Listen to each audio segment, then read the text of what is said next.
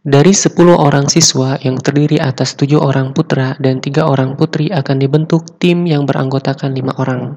Jika disyaratkan anggota tim tersebut paling banyak 2 orang putri, maka banyak tim yang dapat dibentuk adalah Oke. Di sini ada 5 orang dan paling banyak 2 orang putri. Maka kemungkinannya adalah ada satu orang putri plus 4 orang putra. Kemungkinan yang kedua adalah dua orang putri plus tiga orang putra. Oke.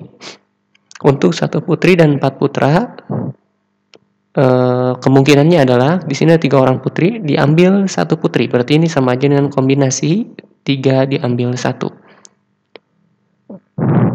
plus atau dan ini kita terjemahkan sebagai kali. Di sini ada 4 putra dari 7 putra berarti kombinasi 7 diambil 4. Oke, hasilnya adalah 3 faktorial per 3 kurangi 1 dapat 2 faktorial kalikan 1 faktorial. Dikali 7 faktorial, 7 kurangi 4 dapat 3 faktorial kalikan 4 faktorial. Oke, Hasilnya adalah 3 kali 2 faktorial per 2 faktorial kalikan 1 faktorial dikali 7 kali 6 kali 5 kali 4 faktorial per 3 faktorial kalikan 4 faktorial. Ini coret, juga coret, dapat 3 dikali 7 kali 6 kali 5 per 3 faktorial itu 3 kali 2 kali 1. Ini coret. Dapat 3 kali 7 kali 5. 3 kali 7 21, 21 kali 5 dapat 105. Oke, itu yang pertama.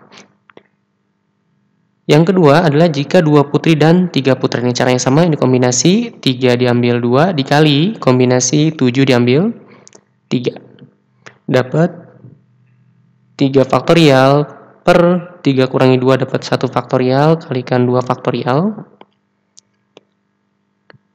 Dikali 7 faktorial per 7 kurangi 3 dapat 4 faktorial kalikan 3 faktorial. 3 faktorial per 1 faktorial kalikan 2 faktorial ternyata sama ya seperti ini. Cuma urutan 2 dan satunya dibalik. Otomatis ini berapa nih? 3 ya Dikali ini pun sama, 7 faktorial per 4 faktorial kalikan 3 faktorial kan sama juga. 3 dan 4-nya cuma tukeran tempat doang. Berarti hasilnya sama juga. 7 kali 5, yaitu 3, 35. 3 dikalikan 35 dapat uh, eh, 105 ya. Maka keseluruhan